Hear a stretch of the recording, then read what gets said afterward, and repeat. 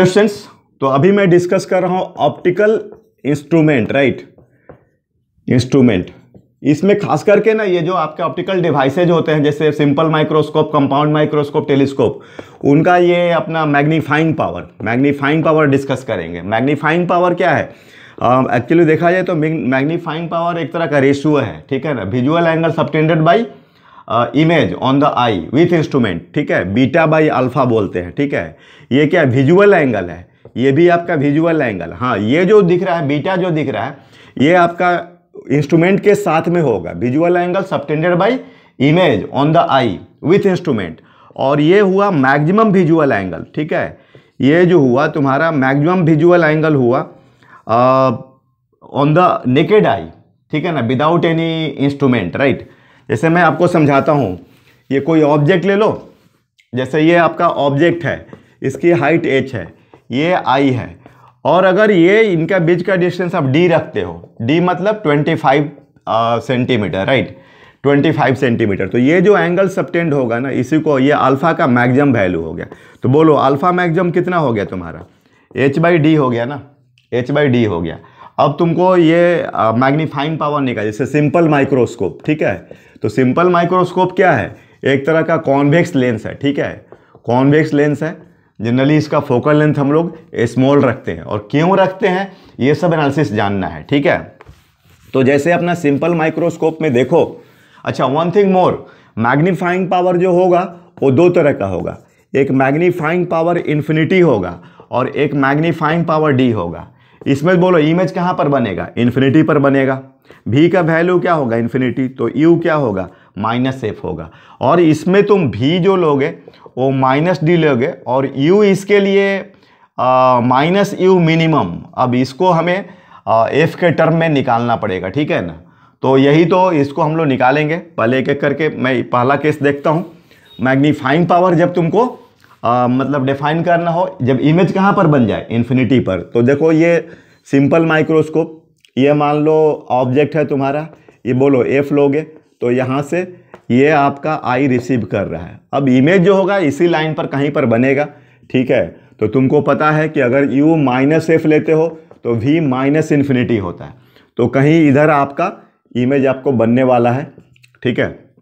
अब मान लो ऐसा कुछ तो ये फोकस से गुजरेगा। तो मान के चलो ऐसा ये इन्फिनिटी पर मतलब ये इन्फिनिटी दूरी मैं बोलता हूँ ऐसा कंपेयर मतलब बस समझाने के लिए, ठीक है? मतलब बहुत दूर है। तो चलो ये देख लो, अब ये बीटा बोलोगे एक्चुअली ये तो जितना तो यहाँ से भी निकल जाएगा। तो बीटा इज़ इक्वल टू कितना हो गया तुम्हारा? एच बाई एफ़ हो गया। तो मैग्नीफाइंग पावर तुमको निकालना है इन्फिनिटी पर। तो बीटा बाई अल्फ़ा राइट तो बीटा हो गया तुम्हारा कितना? एच बाई एफ़ और ये हो गया एच बाई डी हो गया आपका। तो एच एच गया तो कितना आ गया? डी बाई एफ़ आ गया। ठीक है? तो इस केस में आपका जब मैग्नीफाइंग पावर तुम्हारा, बोलो, अगर इन्फिनिटी लेते हो तो answer will be D by F ठीक है? जैसे मान लो एफ़ ने तुमने फाइव सेंटीमीटर ले लिया, और डी अपना ट्वेंटी फाइव है सेंटीमीटर तो अपना मैग्नीफाइंग पावर अगर इसको नॉर्मल एडजस्टमेंट्स बोलते हैं, ठीक है? क्या बोलेंगे? नॉर्मल एडजस्टमेंट तो ये अपना ट्वेंटी फाइव बाई फाइव तो ये फाइव टाइम्स हो जाएगा, ठीक है? इसका आंसर फाइव हो जाएगा, ठीक है?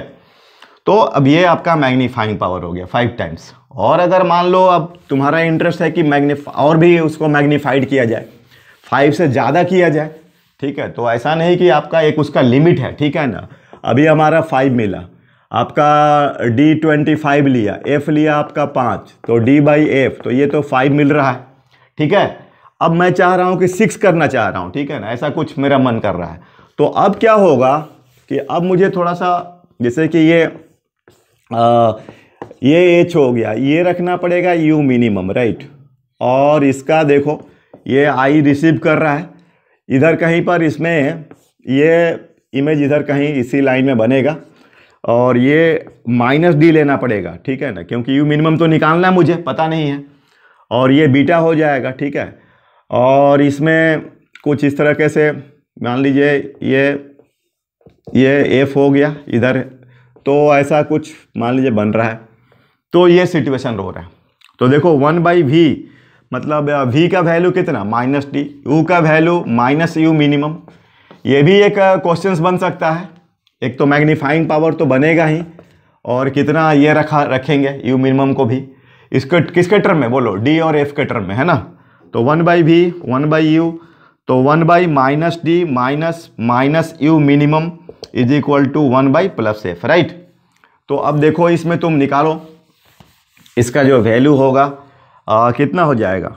ये तो प्लस हो गया। तो U minimum is equal to one by D plus one by F right तो D F D plus F तो ये वन बाई यू मिनिमम तो यू मिनिमम बोलो, कितना हो गया?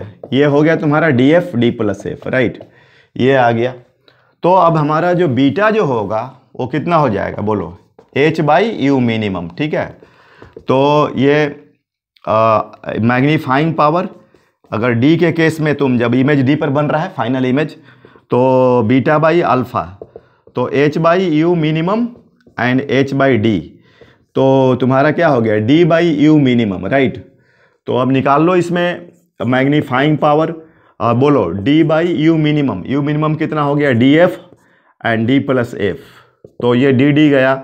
D plus F by F तो ये वन प्लस या D by F plus one right, D by F plus one. तो ये देखो, बढ़ गया आपका मैग्नीफाइंग पावर।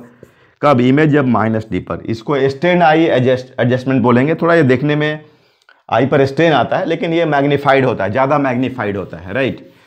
तो जैसे अपन डी एफ़ कितना लिए थे? फाइव। D twenty five. तो डी बाई एफ़ हो गया फाइव मतलब ट्वेंटी फाइव बाई फाइव तो ये फाइव। और अभी D by F plus one तो ये हो गया आपका सिक्स। ठीक है? ये भी क्वेश्चन बन सकता है कि इतना के लिए सिक्स के लिए आपका यू मिनिमम क्या होगा? तो यू मिनिमम क्या होता है? D F upon D plus F ठीक है ना? D F upon D plus F तो twenty five into five and twenty five plus F thirty ठीक है? तो ये हो गया आपका सिक्स तो मतलब फोर पॉइंट समथिंग आएगा आपको। तो आई होप कि ये आपको समझ में आ रहा है, ठीक है ना? तो ये आपका मैग्नीफाइंग पावर निकालने का, उसी तरीके से आपका कंपाउंड माइक्रोस्कोप का भी होता है ठीक है ना? कंपाउंड माइक्रोस्कोप में कैसे हम लोग इसका करते हैं? कंपाउंड माइक्रोस्कोप में क्या होता है? डबल लेंस होते हैं ऑब्जेक्टिव और आईपीस मतलब ये ऑब्जेक्टिव हो गया और ये आईपीस हो गया। ये एफओ और एफ़ ई तो देखो इसमें आपको आ, इसका जो मैग्नीफाइंग पावर डिफाइन करेंगे minus V O by E O and ये लिनियर मैग्नीफिकेशन लेंगे, इसका पहले वाले का, और magnifying power of the eyepiece लेंगे, ठीक है? तो वही चीज़ है, इसमें आपको ये आपका इस तरीके से, ठीक है? इधर आई में रिसीव हो रहा है, ठीक है ना? तो ये अपना ईओ हो गया, ठीक है? अब इसमें आपको यहाँ से कुछ इमेज आपका फाइनल मिड बनेगा ऐसा। तो ये इस तरीके से, ठीक है? अपना।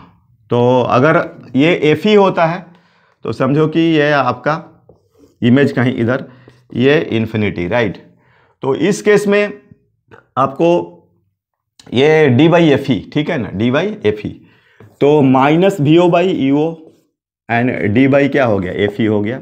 ये मैग्नीफाइंग पावर एट इन्फिनिटी और इन द सेम मैनर आपका मैग्नीफाइंग पावर अगर डी पर बनना है तो minus V O E O one plus D by F E ठीक है?